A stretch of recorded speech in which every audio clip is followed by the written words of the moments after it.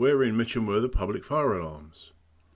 Now, to begin with, I have to admit, I didn't know there were any public fire alarms until I saw an article in the Mitcham and Tooting Advertiser, 25th September 1952. And it said, Protest against fire call plan. Decisions end street fire alarms causes grave concern.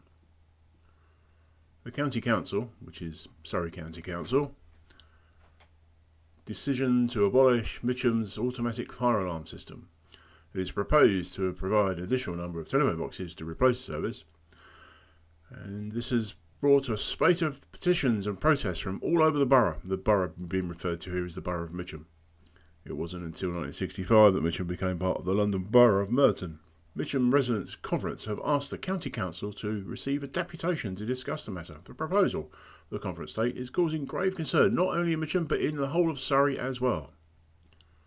So that was 25th September. And then later story on the 27th of November, a couple of months later. Grave concern over loss of fire alarms. Resolution of protest sent to the Home Secretary. A resolution expressing grave concern at the decision of the Surrey County Council to discontinue on January the 1st the present fire alarm system in Mitcham. Calls will then be made by telephone.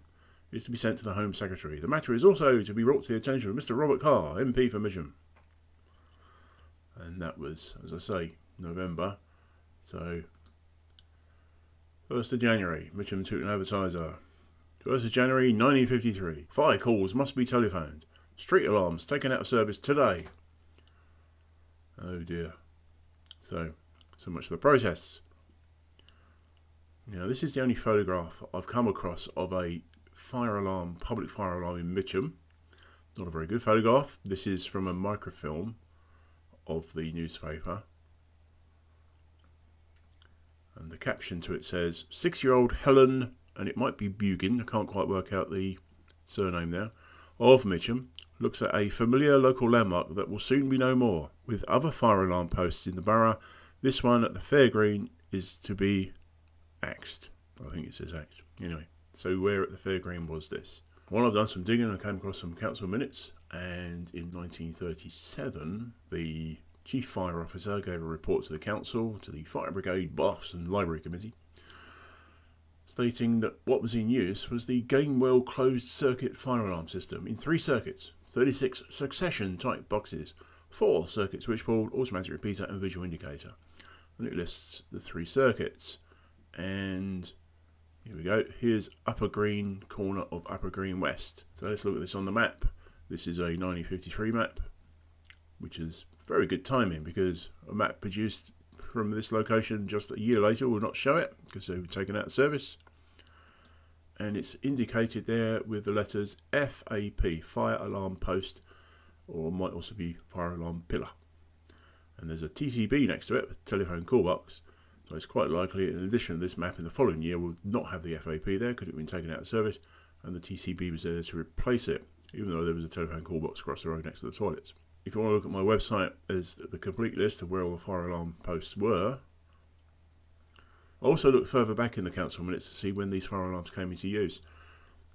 And this one, 1920, a fire alarm system suggested by the chief fire officer, I think is referring to bringing in the Gamewell closed circuit system. The fire officer is basically saying that he would suggest that before proceeding any further on the installation of additional fire alarms, it would be a good idea to have a look at the system that is currently in use in places like Wimbledon, Epsom, uh, or Bromley. The system is the Gamewell system closed circuit. So this implies then that they weren't using a closed circuit system prior to 1920. If they were using an open circuit system, that would have been something like this, in as much that the central fire station of Mitcham would have individual fire alarm posts with individual lines coming into it. Now, when that was first set up, I, I don't know, but apparently this was quite a sensible idea, in as much that each fire alarm post would have its own bell or lamp or what have you in the control room, uh, and the description of where that post was would be would be written underneath it. So it would be straightforward. You would see which fire alarm post has got off. But the problem is, if there's a fault developed in any of these lines, Say for instance there, there's a break. There would be no way of knowing at the station that that is not working anymore. And so the Gamewell closed circuit system that was being suggested by the Chief Fire Officer in 1920 gets around that problem. And if you'd like to know how the fire alarm boxes worked and the closed circuit system, I've made another video about that because I go on a bit too long. So therefore I've made it into two separate videos. Anyway, so if you enjoyed watching this video, um, please press that like button. And if you haven't subscribed yet, please subscribe. And um, bye for now.